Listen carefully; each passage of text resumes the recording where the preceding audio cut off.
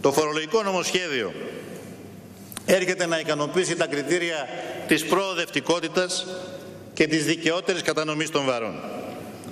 Με την παρέμβασή μας, το 98% των φορολογούμενων θα έχει είτε ελάχιστη επιβάρυνση, είτε ακόμα και ελάφρυνση σε, ό,τι, σε σχέση με ό,τι ίσχυε μέχρι σήμερα.